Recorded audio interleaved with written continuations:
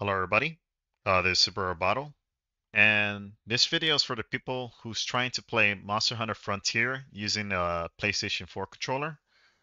If you guys already seen my recent videos on how to install Monster Hunter Frontier and setting up the X inputs, think of it like extra steps for the PlayStation 4 controller.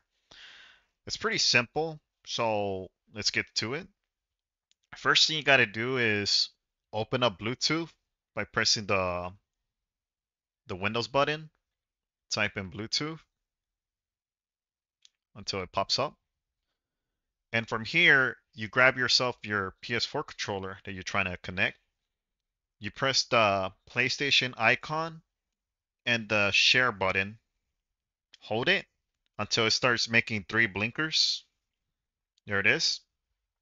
Once it's blinking, click on the Bluetooth and until you find one that says wireless controller.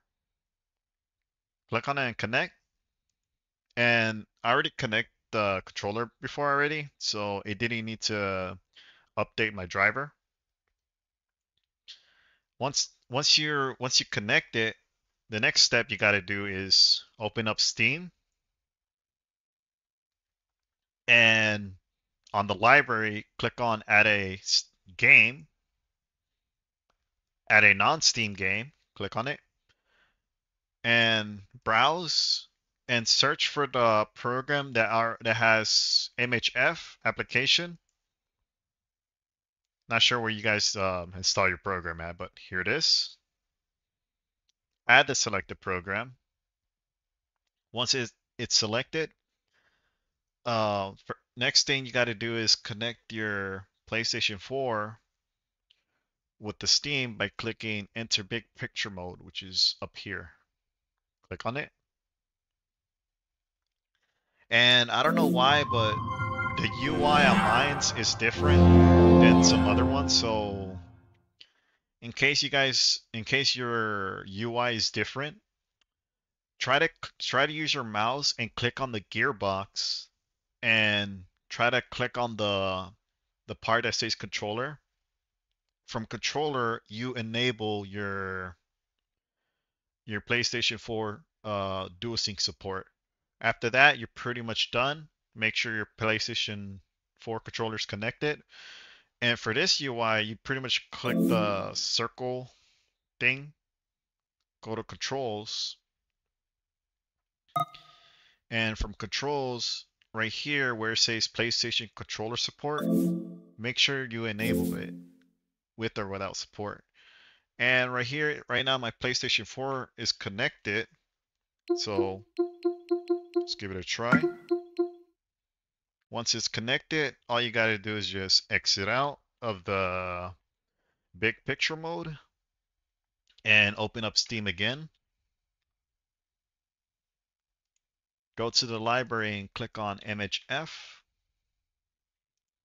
Now from here, you could make sure your PlayStation 4 controller is set up for the for Xbox inputs, which it already is. After that, you just pretty much uh, run the program and you're good to go. Uh, there's multiple ways on installing your PlayStation 4 controller. You can use the DS4 uh, Windows software but that is kind of hard for me to fuck around with. And you could also just grab the micro USB and connect it to your PC to the controller, which is another option. But for whatever reason, my for the for my controller it doesn't work properly well with it. But for whatever reason, it works on my bootlegged uh, PS4. But it the but the bootleg PS4 is kind of shit, so I'm using the the OG one.